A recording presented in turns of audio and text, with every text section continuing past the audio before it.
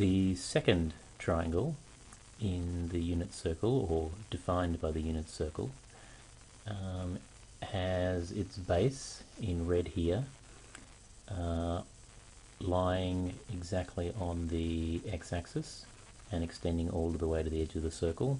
Therefore, that indicates that the base of the triangle is length 1. Now, this means if we were looking at a triangle, we would have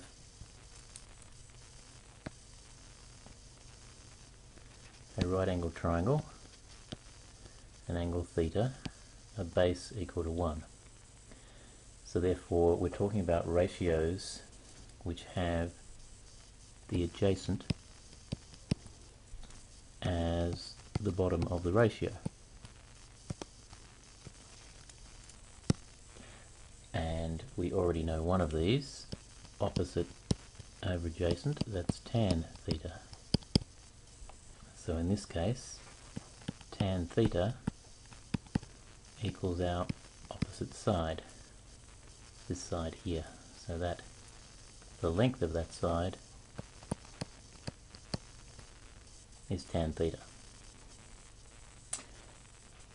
Then we have hypotenuse over adjacent. Hypotenuse over adjacent equals secant theta. So therefore we know that in this particular triangle the length of the hypotenuse hypotenuse over 1 equals secant theta so therefore the length of the hypotenuse equals secant theta so that's quite simple then if we look at our third triangle our third triangle you might have guessed is the triangle with the opposite side always equal to 1.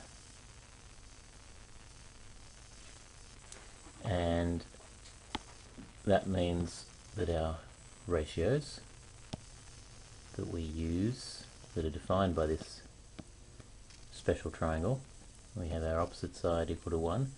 So we're looking at the ratios defined by adjacent over op opposite and hypotenuse over opposite.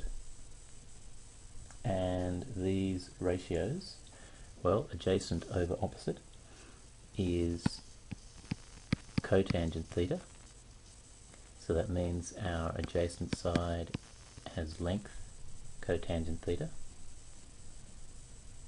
hypotenuse over opposite is our cosecant theta.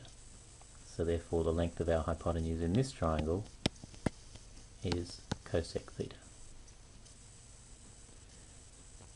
This means that we have three triangles and when we're talking about them as the unit circle definitions, in effect what the unit circle is has been used for is a construction tool. Um, we could just as easily have said just to find the three triangles individually. One with the hypotenuse equal to equal to um, one, the red triangle defined by the red line. One with the base, the adjacent side, always equal to 1, and one with the opposite side always equal to 1. So three triangles. We've just used the circle to help us construct these to show the lengths. Now if we have a look at these three triangles we can see something interesting about our ratios. So let's have a look at three triangles and I'm going to draw them in a very special way. So first of all I'm going to draw our last triangle. This last triangle had our opposite side equal to 1, we had the entire length equal to cotangent theta, and we had our hypotenuse equal to cosec theta. That was our entire length.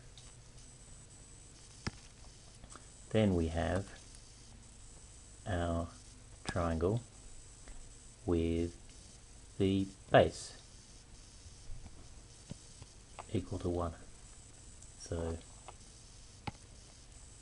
we have this part equal to 1 and because we're talking about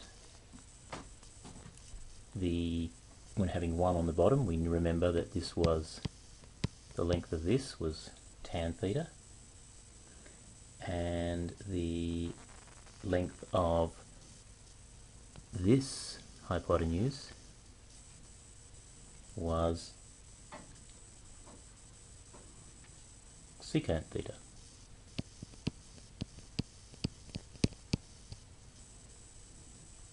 And then we have our third triangle. And this one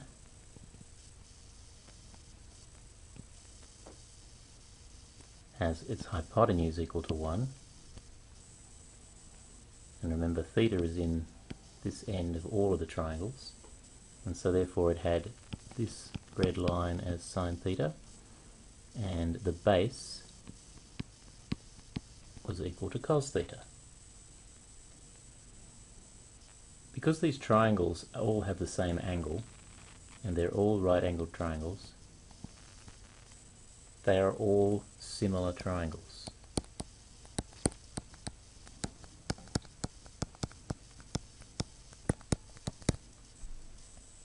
All three of them. And that means that we can make some, find some relationships between these ratios using these three triangles. And I'll talk about those in the next video.